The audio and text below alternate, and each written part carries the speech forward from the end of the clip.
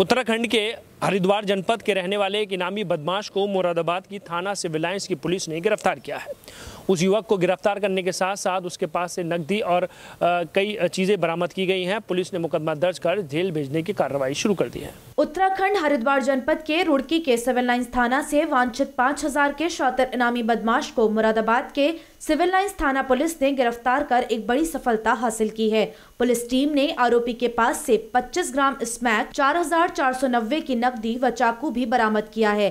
Police उपाधीक्षक प्रभारी थाना सिविल लाइन्स दरवेश कुमार अपनी टीम के साथ पीएससी तिराहे पर गश्त कर रहे थे। कि इस दौरान उत्तराखंड के जनपद हरिद्वार के रुड़की के थाना सिविल लाइन्स में तैनात उप निरीक्षक नरेंद्र सिंह ने उनको अवगत कराया कि रुड़की के सिविल लाइन्स थाना से वांछित व पुरस्कार घोषित अपराधी मुरादाबाद जनपद के सिविल लाइन्स थाना क्षेत्र की आदर्श कॉलोनी में रह रहा है, जिस पर मुरादाबाद की सिविल लाइन्स थाना पुलिस टीम ने आरोपी के घर दबिश देकर पाँच हज़ार के इनामी बदमाश को धर दबोचा पकड़ा गया आरोपी सिविल लाइन थाना क्षेत्र की आदर्श कॉलोनी निवासी सतपाल उर्फ़ भंडारा, पुत्र प्रदीप उर्फ़ रविंद्र है, जिसके खिलाफ रुड़की के सिविल लाइन थाना व मुरादाबाद जनपद के सिविल लाइन थाने में विभिन्न मामलों में कई आपराधिक मुकदमे दर्ज हैं। साथ ही रुड़की के सिविल लाइन थाने में सतपाल उर्फ़ भंडारा पर पाँच हज़ार का इनाम घोषित है। एएसपी अनिल कुमार यादव ने सिविल लाइन्स थाने में प्रेस वार्ता कर पकड़े गए इनामी बदमाश के विषय में जानकारी देते हुए बताया कि एक आरोपी सतपाल उर्फ़ भंडारा, जो कि यहाँ आदर्श कॉलोनी का रहने वाला था इसके खिलाफ एक मुकदमा लिखा गया था।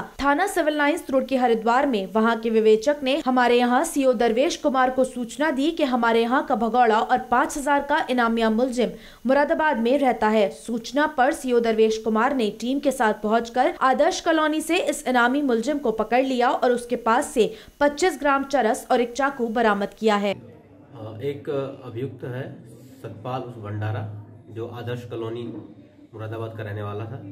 इसके ऊपर थाना सिविल लाइन, रुड़की, हरिद्वार, उत्तराखंड में एक मुकदमा दर्ज था, जिसमें वांछित था, इस पर पाँच हज़ार रुपये का इनाम घोषित था।